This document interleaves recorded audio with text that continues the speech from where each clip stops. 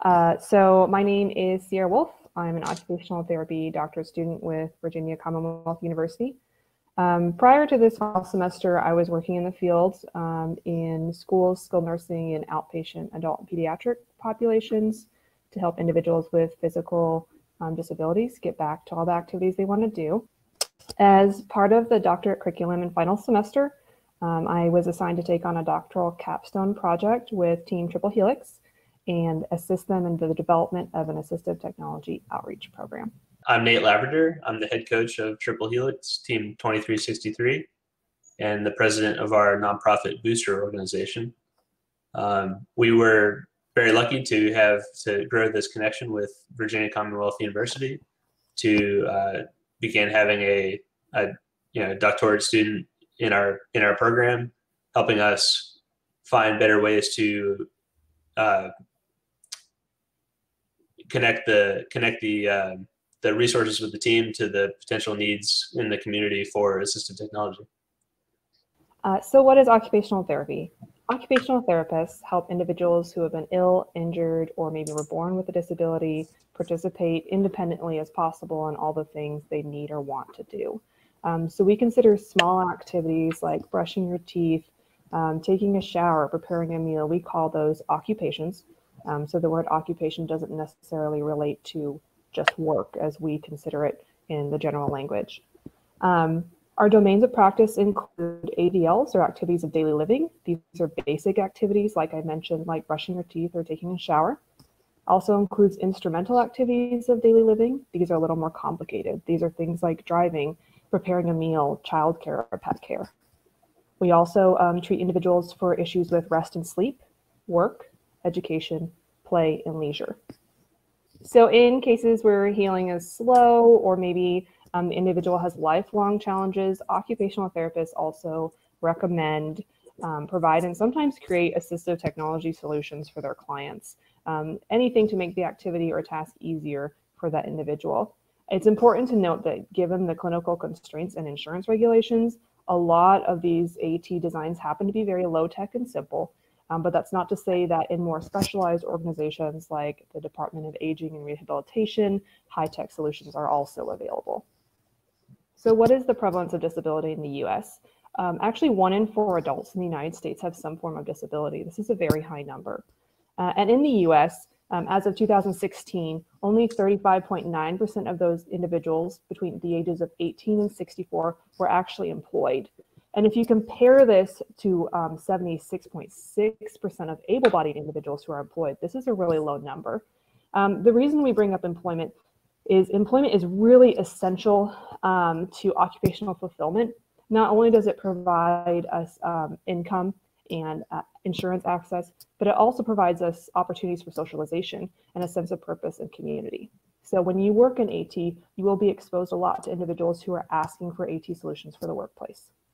So what is assistive technology? Well, AT is defined by the 1988 Tech Act as any piece of equipment, product, or system, whether acquired commercially, off-shelf, modified, or customized, that is used to increase, maintain, or improve functional capabilities of individuals with disability. It's important to note that the 2004 Individuals with Disabilities Education Act, designed specifically for schools, defines AT much the same way. However, they specify that AT must be used for curriculum access and educational purposes. AT can encompass very low-tech items like Velcro, screwdrivers, extended handles, and handcuffs. And it can also encompass higher technology like myoelectric prosthetics and power wheelchairs. Um, so disability and assistive technology, what is the real need out there? So only one in 10 people in the world actually have access to assistive technology that could significantly improve their independence, usually due to financial or availability concerns. Not only is there a significant need for assistive technology in the population, there's also a significant deficit of individuals who are skilled enough to, to provide assistive technology solutions. Other challenges with assistive technology access include um, the uniqueness of every disability. So each person is different, has unique needs. No two disabilities are, can be considered the same. Many assistive technology needs are beyond the scope of what can be provided uh, in schools and by insurance as well. something that is important to mention is the prevalence of what we call assistive technology abandonment. A high percentage of users actually end up abandoning their assistive technology device after acquiring it. Um, and factors that increase the risk of assistive technology abandonment include not considering user opinions, so not viewing the assistive technology user as the expert in the design process, difficulty acquiring the device. A lot of assistive technology users go through rigorous, um, rigorous actions to try and, and get a hold of assistive technology devices. Poor device performance. This is something really important to keep in mind. Your device needs to be as efficient or more efficient than what the user can do on their own with their limitations. So, for example, if you were, let's say you were missing your right arm, if you think about right now, if you want to go grab a glass of water, all you have to do is really think about it. But if I give you a device for your arm and it takes multiple steps to have to reach out and grab that glass of water, well, at the end of the day, you're just going to end up using your left hand instead because it's faster and more efficient. Why have a device to do that? Um, so this is really important to keep in mind. It needs to be efficient and it needs to work across multiple contexts. And then also change, changes in user priorities. Um, this is important. You got to keep up with the assistive technology user. You need to check in and follow up. Also, providing appropriate training and modifications throughout the, the AT process will help mitigate assistive technology abandonment. And this whole idea really speaks to um, the notion that commercially available assistive technology devices do not work over the long term for assistive technology users. So, assistive technology as the cure. Um, before we get much deeper into this presentation, I want to challenge preconceived notions about disability and the environment.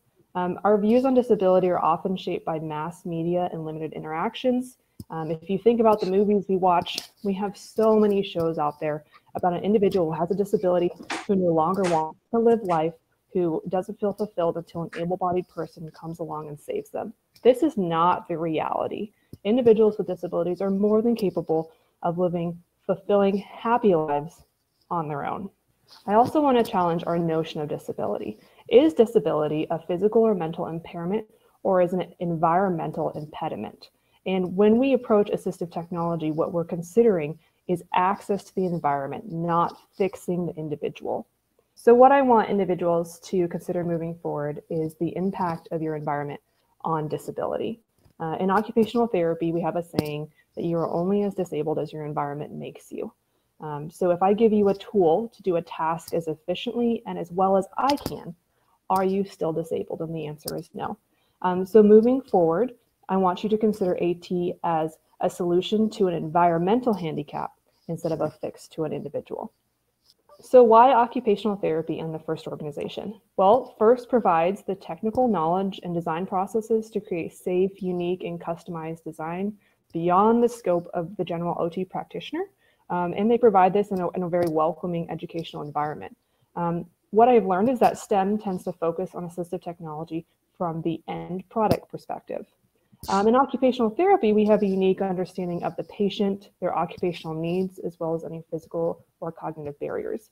And from our perspective, we focus on AT um, from, from the perspective of the, of the end user. So the reason first is the uh, right organization to take on this this challenge is because first is the best in class high school youth STEM organization that has a has a mentor basis. So with existing first teams with resources behind them, such as you know the capability to build a, a you know world class competitive robot and and the mentors to uh, help guide students through through the challenges of you know of competing with a robot um, these these are the groups that are able to uh, find these really compelling problems that they could they could try to tackle in their communities. Um, the initial collaboration with First and VCU began in 2017. And to speak about how that collaboration began and the outcomes of the first year, we'll be hearing from Patty Lavador, who is an occupational therapy professor and has been the faculty mentor overseeing this project.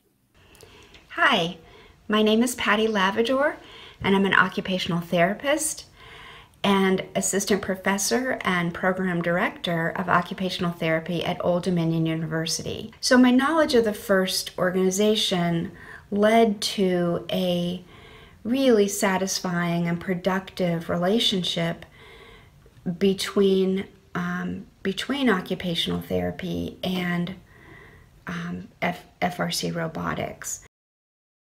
The final semester of the doctoral program involves a student's engagement in, in a capstone experience. That capstone experience is designed to help students develop advanced skills in areas like research, administration, leadership, program and policy development, advocacy, education, theory development, all, all advancing the skills of um, a student to prepare them for advanced practice in occupational therapy. Um, and there, it's also designed to help students be prepared to meet um, the health and wellness outcomes for individuals, groups, and populations. So, from the very get go, the design of the capstone experience is to immerse a student in an area where they can step in, demonstrate leadership, demonstrate creative approaches to the needs of our um, of, of individuals with physical or, or mental functioning needs and um, and design new and creative and innovative solutions to those uh, problems. The summer of 2017, I had a student that was really again interested in technology, and his particular interest um, was in the area of 3D printing, and he and he wondered um, and began to examine how 3D printing could improve the quality of life for individuals with disabilities. By the end of that fall semester, it was becoming clear that we were not able to identify a site where that could take place. And that's where the sort of the wellspring of ideas around integration between occupational therapy and FRC began to take place. So in the spring of 2018, we made the determination that um, Jason would, instead of looking explicitly at 3D pl- printing, would look more widely, where not only did Jason um, expand his technology knowledge, but also expose students that are themselves learning about technology in the FRC program to build their understanding of the disability experience and how their skills and technology could meet the needs of, um, of a community of individuals that have access and participation limitations. So the way that we designed that experience was that his uh, the first part of his capstone experience was to literally embed in the program. Um, he embedded in the whole design and build phase where he um, followed uh, and, and served as a non technical mentor to the team to help him learn in, um, in parallel with the students that were building the robot. He also used that time to teach um, individuals about the disability experience. So he um, he met with students, he did training, he helped them understand about um, about the disability experience and about how limitations affect participation and access to the kinds of meaningful activities that we all engage in. As the competition phase then began, Jason spent his time embedding now in the community. He met with a number of stakeholders that, um, that provide service um, and provide access to individuals with disabilities throughout the community.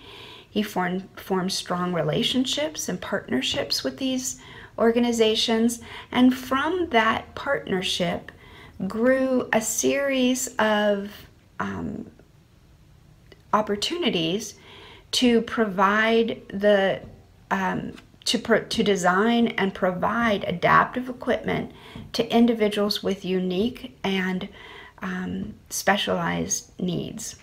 Jason brought his ideas to the team, and the students and the team mentors used their combined capabilities to develop um, a number of, of adaptive designed equipment to support the needs of individuals in the community. Jason's experience ended with some really um, amazing outcomes. First, Jason learned the technologies involved in design and build.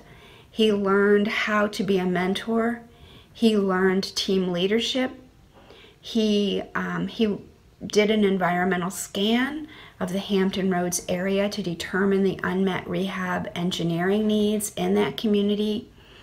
And he developed a plan at that point to help address high priority needs um, to meet the needs of individuals in that community. In that community, the team um, had the opportunity to begin to learn a little bit about um, experiences of individuals with disabilities, um, and they learned um, the the beginning skills in rehab engineering.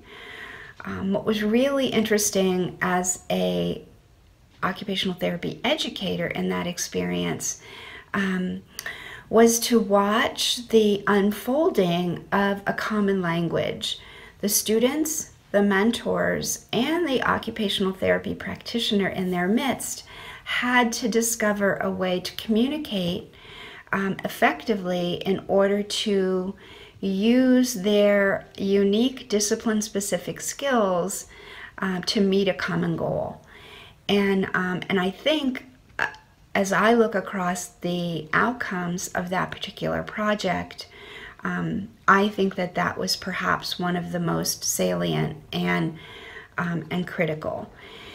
Um, and I think that that's the case because it provided the foundation for the development of a second capstone experience. So at this time, we have our second student embedded in that experience. Um, and the, the history for her experience is exactly the same. So, picking up from where Jason left off in the second year of collaboration, my goals included continuing assistive technology education. It's very important to stay up to date with assistive technology as the community and resources are constantly evolving. My second goal was also to strengthen relationships with community and local partners. Um, Jason had established several great partnerships in the community, and we wanted to keep working with them on projects. Uh, my third goal was to continue assistive technology design and modification, and then also to start disseminating that knowledge through open source learning platforms. Um, we felt together, Triple Helix and I felt um, that it was important to start sharing our experiences with individuals like you and the community at large. What Sierra has done is taken Jason's project a step further. Um, she began to expose students to not only the disability experience from a third person's perspective, but also introduce them to individuals with disabilities that are using technology to meet their occupational needs in the community. So she has introduced them to individuals with amputations, people with mobility impairments, people with cognitive, cognitive impairments that are using technology to help organize their lives. Um, and she too has taken taking them on a journey to um, to develop a number of technologies to meet the needs of individuals in that community. After the second year of collaboration, we had some significant outcomes to our project. During build season, we created 13 assistive technology projects we collaborated with five different community partners. We also increased the understanding of the needs of individuals with disabilities in, amongst the team members. And we increased the awareness of post-secondary opportunities for students uh, in STEM skills. And we noticed an improved sense of community and efficacy among the students. Um, and the students themselves really enjoyed the experience. As, as the head coach of the team, one of the outcomes that was very special to me is that, you know, in this 2020 season, which you know had this this terrible interruption, um, our, our students got to use their their budding engineering skills in a way to really make a positive difference in their community. They, they got to you know have have some use their use their skills to some positive effect uh, in a way that they really couldn't experience during the FRC season this year. It's important for people to learn how to interact with people who do have disabilities, so the people who has a disability don't feel like they're different. They don't feel like they're outcasts from society because they aren't. Um, much like many other things in this world, you often can't control with what you're given. And so it's just, the world would just be a better place if people learned how to make it easier and if people knew about it um, to adjust certain things for not just the majority, but for also the minority. Uh, after like working with AT and all this stuff, I've really been able to see what the things that they go through and the challenges they face, and I feel like that's helped me better appreciate how who they are and stuff like and the things they've gone through. I think it's really important for FRC students to um, to get involved with assistive technology projects. Um, just like building robots, it's a chance to design, work in teams, um, work on STEM-related projects, um, prototype. You know, come up with a design, try it, find it doesn't work, tweak it a little bit, uh, try it again. They're problem solving, they're planning their time. Um, it, it's really, it's kind of like a, a, little mini robotics project, really. You know, it doesn't take as many months as a robot does, but you're still doing the same sorts of things. I think the AT projects definitely help me understand like what it's like to like be a person with a disability because people are often like looked down upon or not treated the same when in reality they just need a little bit more help to do everyday tasks just like everyone else. So it's really helped me understand what it's like to need help and not usually have it available is another thing because lots of AT is super expensive.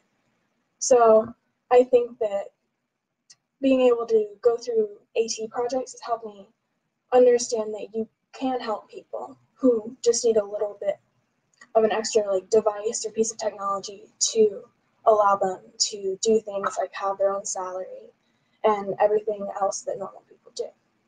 We also saw an improved sense of community and efficacy among our students. Overall, our students increased knowledge and awareness of individuals with disabilities in their community, as well as the significant impact they can make with the skills they've learned through FIRST like the people who have these disabilities, each disability is unique and should be treated as such.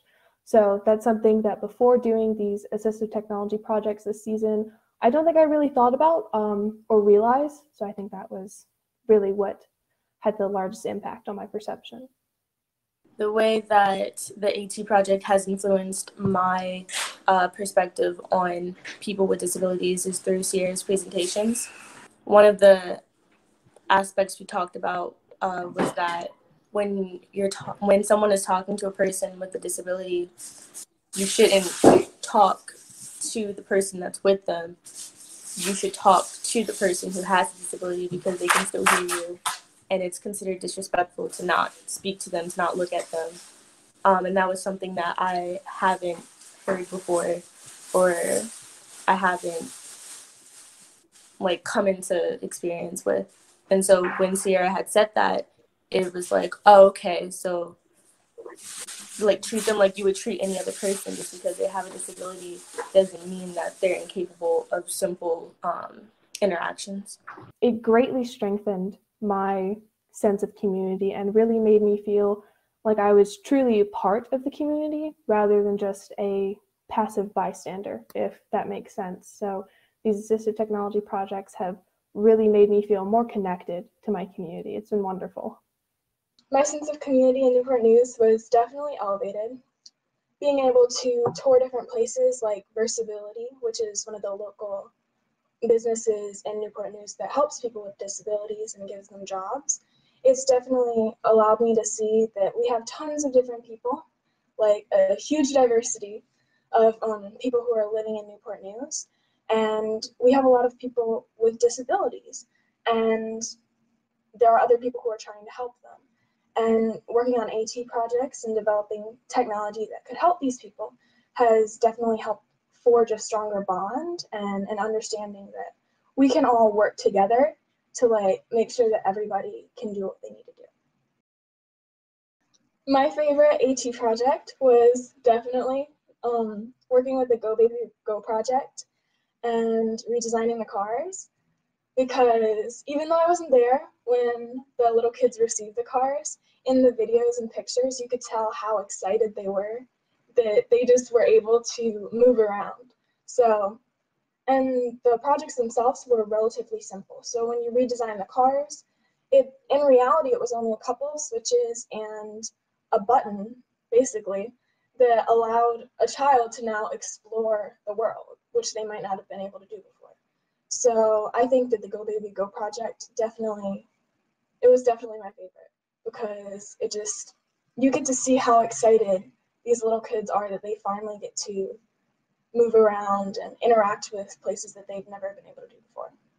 I think my favorite was probably all all of our Go Baby Go cars and the ones we did for Newport News because I just really liked how by the end of the season we had like a really good method down of just how to make them and we it was just fun like figuring out where the holes are, wiring it all up and I feel like it just it felt cool because we could like, we could just keep getting cars and we could keep doing it over and over again and it just it felt really cool. So on the slide we have some examples of completed AT projects. On the far left you'll see a green Jeep that we completed for the Newport News public school system to have joystick access. We actually 3D, 3D printed the housing for the joystick and installed it ourselves. And it was a really unique project because as an OT, I really have very limited experience to things like CAD software. Um, so I got to learn about that in this particular project. In the middle is a, a bow mount to be able to uh, practice archery. Um, this was developed for Camp Bruce, Bruce McCoy, which has a it's a summer camp which has a really interesting population of adults with all sorts of uh, mobility dis, you know, disabilities. Um, so they have a really diverse population of adults, and they wanted the ability to uh, you know shoot bows and arrows. Uh, and so this is a this is a bow mount that can enable you to shoot arrows one-handed. And then on the far right, we have a red Mercedes car that we modified for the Newport News Public School System.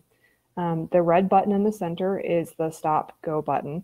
On the far top right, the green button is the radio, and on the far top left is the horn. And then we also uh, inserted extended handles for steering. One of the really unique things about this car is that we modified it in such a way that it can be completely reassembled to work in its original form. And this allows parents and teachers and other professionals to then make further modifications in the future.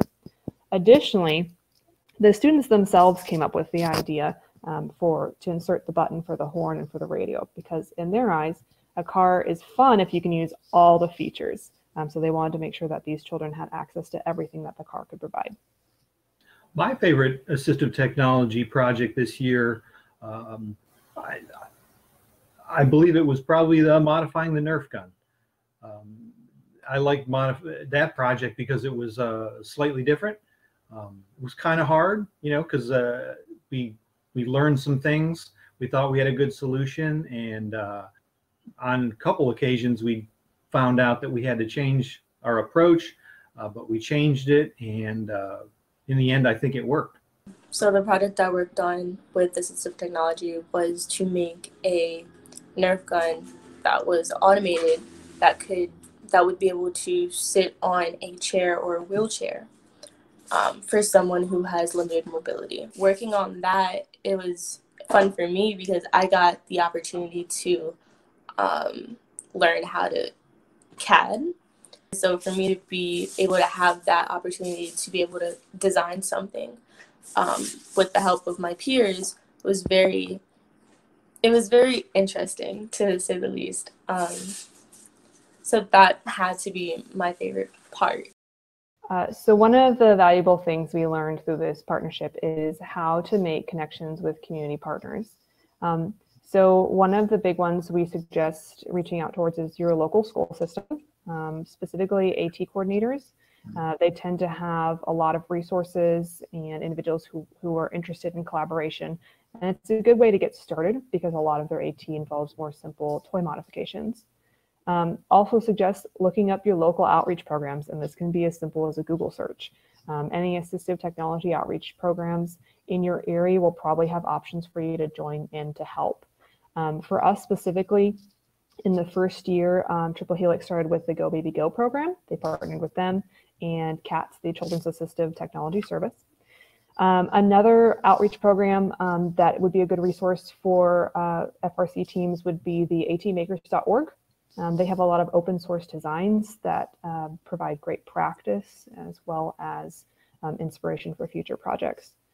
Um, also look up supported employment programs in your area. Um, so one of our partners is called Versability. They're a supported employment program in Newport News, Virginia. And they've had several projects for us that involve modifying work devices for their individuals. And that's been really rewarding. Um, and it's also provided our students with an opportunity to um, see individuals with disabilities um, work firsthand and, and, and see what they need. Um, and then also you can partner with university programs such as an occupational therapy program. Um, there's also programs like physical therapy um, that those professionals work in assistive technology too. So all that would involve is a simple email um, to their department. Triple Helix is a fairly small team. We uh, have about 20 students and 10 mentors or so. Um, you know, we, we're very lucky to have the resources we do have. Um, understanding the capabilities of your team will will be a major, you know, it's a must as you're as you you know make the choices to begin to get into AT development. This the uh,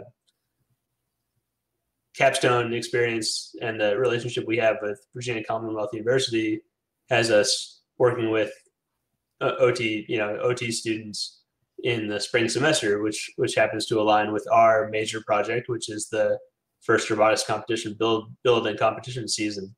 Um, however, this is actually a, a pretty good asset for us. Um, the the uh, we're a year round team, but being able to uh, we, we, we found that we're, we're able to work on the robot project and the and the AT projects simultaneously. What allows us to do that is is good project management and the ability to um, you know schedule resources around around projects as they're as they're needed.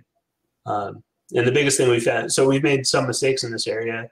Um, we have let let some projects linger too long. Um, but I think what we can say is that um, with with the right attention onto on you know on project management, um, we can use our use our team resources in a way that we're able to complete projects in a timely way. Balancing the time between adaptive technology projects and the robot build, um, sometimes that was kind of uh, hectic. Um, there's always a lot going on with the build season, making and you know designing and fabricating things for the robot. And sometimes you know there was a lot going on. Uh, but on the other hand, having an assistive technology project uh, kind of in your back pocket uh, for for students to work on, it allows uh, you to give them things to do when they're not 100% utilized. Uh, so sometimes during the season, you'll have some students that really aren't 100% engaged on a robot building task. In that case, you could just swing them over to the assistive technology project and they could contribute um, on that. And they could work in teams and they're going to solve problems. And there's a lot of overlap between the assistive technology project and what they would normally do for a robot. The first year, we built one car. In the second year, we built, at least we would have built four cars. So and we could build 16 next time. we could keep doing more and getting faster and really helping more. You know, having students participate on an assistive, assistive technology project is very similar, uh, just smaller scale uh, to working on a FRC robot. Of course, you're not taking you know two three months and you, the design process isn't as difficult as for a robot but all the other elements are there. You're still working as a team. You're working with uh, technology. You're coming up with a plan. You're managing your time. You're working uh, with others. Um, you're working in a very tight space uh, where you might have two or three students trying to get at the same, you know, piece of, um, you know, car if you're working on a car. Um, you have to do your research. You know, what's the best switch? What's the best way to uh, to interrupt this circuit with the appropriate switch to, to get this assistive technology device working the way it's supposed to. Uh, so it's really, really, it's complementary. I don't think there's anything a, a, student can do on an assistive technology project that's not going to be valuable uh, to building an FRC robot or the other way around. Another lesson we learned in this collaboration is it's really important to develop intrinsic motivation in the students. Um, so it's essential to find some way to connect with the assistive technology user, whether it's through a video, a photograph, or in-person meetings. Uh, when we did this with our projects, our students had a lot more buy-in to the project itself and could really understand um, the issues that the individual was facing. And it had a lot of motivation to help them through that. Um, something to mention is that the motivation for assistive technology projects needs to be to help individuals access occupations it's not to win awards, even though that might be um, a side effect to those collaborations. The main motivation needs to be to help people.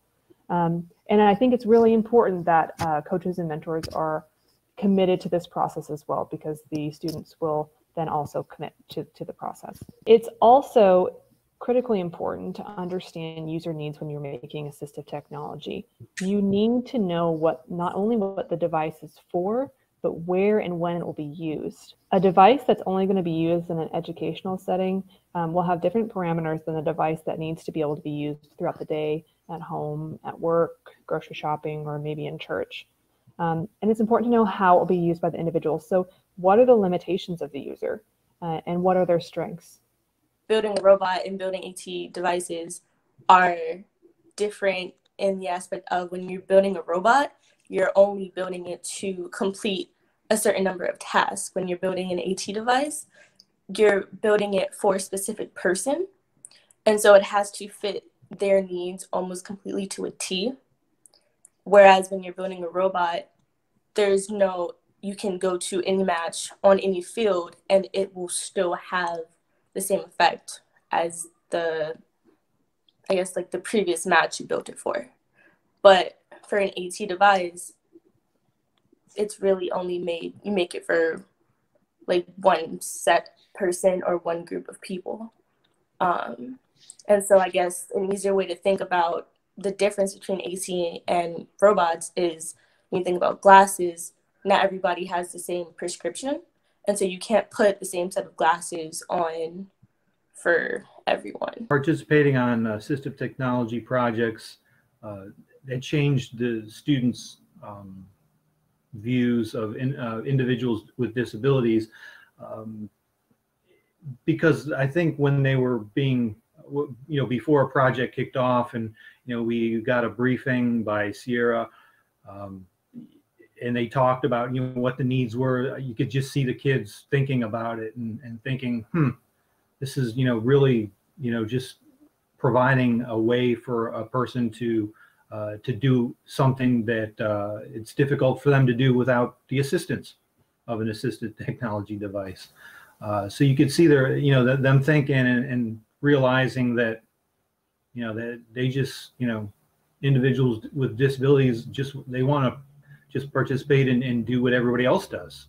Uh, and if we, you know, we could only uh, give them a little bit of assistance with, you know, a switch or a, a you know modifying something uh, to make it a little better that's uh, that's a pretty awesome impact and and you know a way that we could contribute a helpful acronym we use to make sure that we are looking at assistive technology modification from the perspective of the user is the acronym possible so p stands for practical does it make sense and is it more efficient than what the user was doing previously O stands for open design. Can it be modified further? And this is the principle we used when we were modifying the red Mercedes car for the Newport News school system. It's important to allow for further modifications and customization down the line. S stands for simple or stable. It has to be safe. It can't fall apart or break in the middle when the user is, is interacting with it or it can cause some real safety hazards. Self-imposed. This is not, this is something that um, you may or may not have complete control over, but it's still important to introduce to students. And that is that no matter how great the device is that you make, it still has to be self-imposed by the user. It still has to be accepted and used in multiple environments. You can reduce the risk of your AT device being abandoned by making sure that you have fully evaluated the needs of the user and that you are communicating with them and cooperating with them in modification and development. I stands for individualized. Like I said previously in the presentation, not all disabilities are the same, so you can't treat all disabilities the same way. Um, and then broad reaching. Um, so it's important that the assistive technology device uh, be usable across multiple contexts if possible. Now, there might be situations where you need a specific device for a specific task, like the supported employment programs at Versability, but ideally, the assistive technology device can be used across multiple contexts. L stands for low profile. It's important to remember that the focus should be on task completion, not the AT device itself. So the device really needs to blend in with the environment. E stands for economical. Um, you can improve assistive technology outreach by making economical, efficient designs for individuals. I think when you're planning to, to make an adaptive device, um, the skills that you need in your toolkit, um, basically all the skills that you'd, you'd, probably need for the whole life cycle of the project. Uh, you'll have to come up with some sort of uh, requirements. Uh, you're going to need some specifications, etc. Um, like you're making almost anything from scratch. Uh, you'll have to make a plan of what components you're going to need. Um, and, and you'll also have to consider uh, what you're capable of making. Uh, if, if, the need comes in to, to create a, some kind of uh, um, AT uh, device that you don't have the skills for, uh, you'll have to consider that and look, try and find the skills somewhere else or find help or whatever. Um, in this case, you might even have to um, interface with end users. So uh, I guess, you know, dealing with customers is also a plus. Designing and building assistive technology um, was surprisingly, it overlapped in a lot of ways with a robot, which was which was strange. But um, the main difference between assistive technology and the bot that we build every year is that with assistive technology, there was always an actual person to consider. So it really wasn't just about what the device had to accomplish, as with our robot, but who it had to benefit and how it had to benefit them. So that was a really interesting difference that often occurred. As an occupational therapy student, um, one thing I would caution FRC teams to uh, try and avoid, if, if at all possible, is um, to make sure that you're always staying in touch with the user needs throughout the design and modification process. It's very easy to get caught up in exciting ideas and things, but always make sure you're checking back in with the previous information you collected using the acronym POSSIBLE um, so that you know that you are making an assistive technology device that is, uh, that is the best it can be for that user.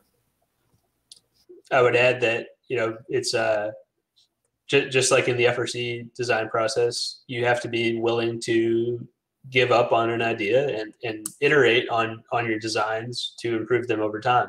So, you know, the, the advice I would give is find a way to capture feedback if, if possible from the user base.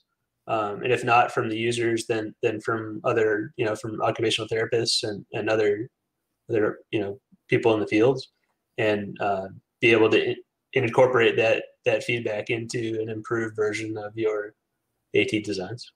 We tend to overcomplicate things and maybe design things in a way where it's a there's there's a lot more than is actually necessary. So um, keep in mind that there are always simple solutions to problems and you have to remember what your task at hand is. Maybe make sure you have an adult mentor who you know, they can be doing other things on the team. Like I know on our team, we have a lot of other mentors that are doing like three different jobs, but they're also helping oversee these AT projects. So that's a good way to avoid the pitfall of maybe not completing an assistive technology project on time or it just not getting done, you know. Um, so that would probably be a recommendation I have. And that, that, that ties into making sure you have people who are interested and the, and the time to do it so that you don't, you know, make promises and accidentally go back on them. There are some times during build season there isn't much to do. So maybe take that time and work on AT because there is something to do there and you could be helping somebody. Do a little research, see what's out there, uh, look out on the web. Um, there's a lot of, um, there's some sites out there that'll tell you, um, give you instructions on, on how to do what you want to do. Plans, there'll be plans out there. Uh, but yeah, just research a little bit. Um, and it's really to me it's not really that unreasonable for most frc teams to be able to to take on projects like this some, some are very simple for robotics team and you know some are a little bit more complex but almost every robotics team that i've come across i think could probably do something like this honestly just look at the resources that are available there's tons of stuff out there whether it be on the go baby go projects or just designing certain things that can help people in day-to-day efforts, work, um, recreational activities, there's tons of information that's already out there. So like if you're trying to design a device, you can't ignore the the pieces of technology and CAD that are already out there. So like on different platforms, most most of the time people have already designed something that could possibly do a job. So I would recommend that just look and research and see what's out there because you'd be surprised at how much is how much of the work is already done for you and how simple it can really be to help others.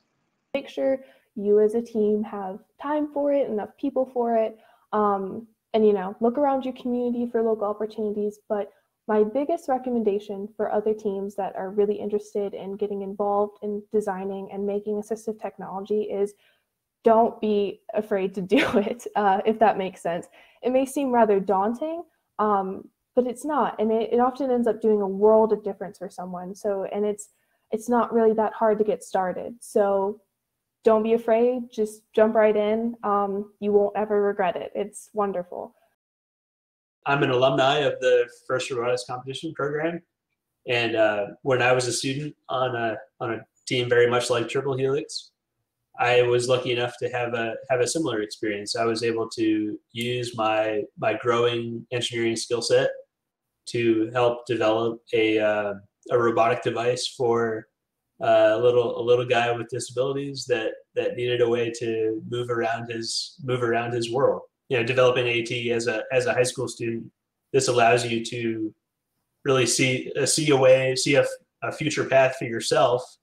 Uh, you know a path where you're able to you know use your understanding of you know mechanical things or, or whatever the case is um, to to really make a make a really powerful and meaningful difference in your in your community as an occupational therapy student um, getting ready to graduate and go into practice myself i found the collaboration with team triple helix to be immensely valuable. Um, I came into the collaboration with basically no engineering skills um, and learned so much uh, throughout the entire semester about how to modify devices and um, how to uh, print and make certain things and, and just like basic knowledge um, that is going to be extremely helpful moving forward uh, for me and, and for my future patients. Um, so I would encourage um, any uh, students out there who are thinking about collaborating um, to really consider FRC teams um, as a way of improving your educational experience.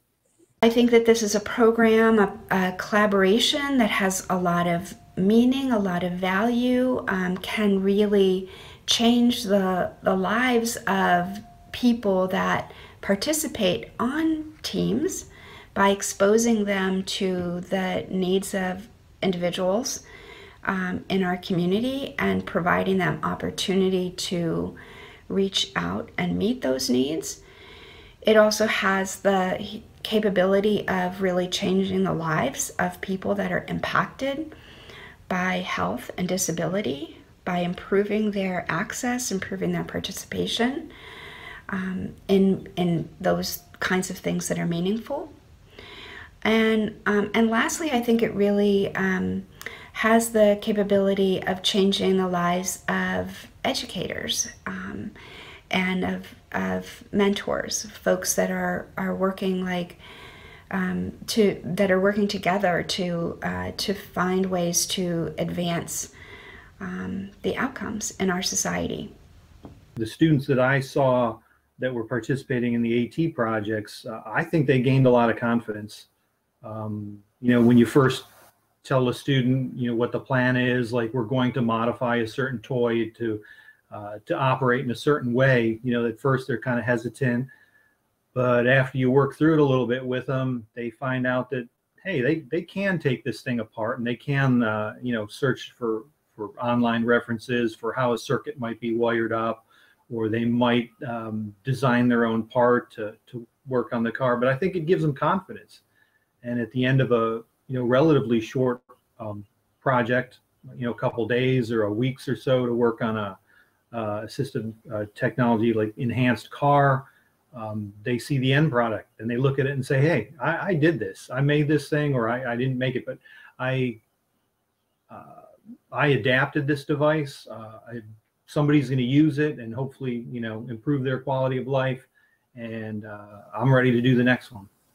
This partnership has a huge um, potential for really improving the lives um, and the quality of lives for individuals, groups, and our population as a whole. Um, when we can improve the outcomes for people with disabilities, we improve our society. Um, and I think that this partnership can really significantly um, uh, impact that. The second um, place, I think, for me that has been really hugely motivating and very exciting is to examine and to think about OT's role in the maker movement. Um, there is a lot of interest in the maker movement um, and in providing uh, technology services to a wide variety of populations, and um, and I and I love this collaboration, and I think that there's huge potential, and I think that OTs can help engineers, and engineers can help OTs, in thinking about how we can work together to to make the differences that are that are most valuable in our society. I think it's important for students and team members to understand that what we're doing with robots is while we might not need an 120 pound robot in our day-to-day life, the skills that we use like soldering and doing electronics and designing and building things, they can be useful in day-to-day life in so many different ways. So for example, if a person needs a device to help somebody, you might only know how to build a robot, but you can easily take those skills and use them to design something or create something that will totally change a person's life. And I think the last piece that is really meaningful and valuable to me as both an OT and an educator is maker pedagogy. Um, we know that when students engage in making things, whether those students are occupational therapy students or whether they are engineering students, that something changes in their in the way that they learn. Something changes in the way that they understand and they build empathy. And so this capstone experience has changed the way that I have been thinking about my role as an educator um, and and the role of maker pedagogy in occupational therapy curricula. It's really important to allow students to have the opportunity to design and build assistive technology because not only does it strengthen their engineering skills um, because it really makes you think outside of the box and think maybe in a different way than FIRST has allowed you to. But it also, I think, greatly increases their capacity for empathy and their relationship with their overall community as well, which is a really beautiful and cool thing to see. I also invite any occupational therapy educator that's interested in this capstone experience to uh, to reach out to me and the team to to um, to to learn from this example and to and and to share um, experiences that they may have had in um, in a maker related um, capstone experience.